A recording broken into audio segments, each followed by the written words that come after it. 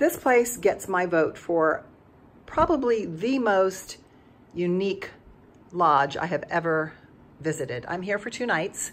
I'm Lori Robinson and I design safaris for people. I've been doing that since 2004 and I'm constantly looking around and visiting new places and lodges and camps so that um, I can really know what I'm talking about when I'm creating an itinerary for a client. This place actually happens to be one of the lodges in the book National Geographic's Unique Lodges of the World.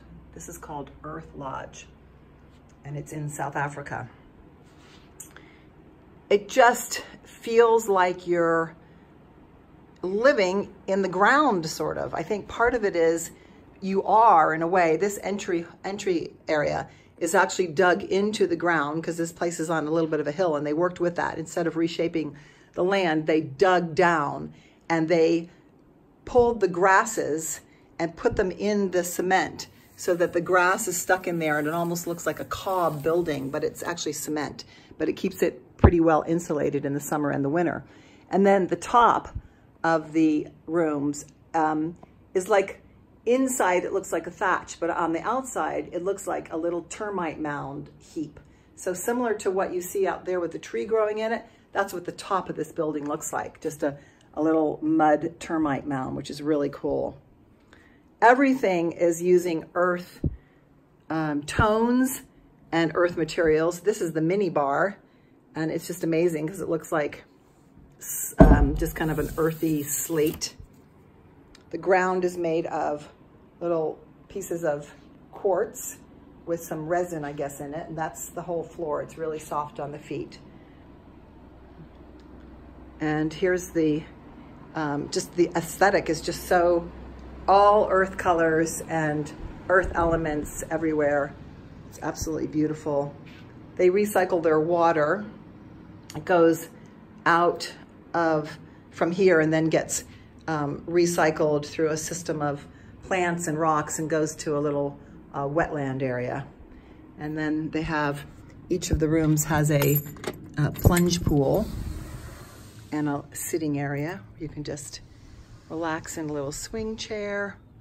You can also take an outdoor shower, which is right here.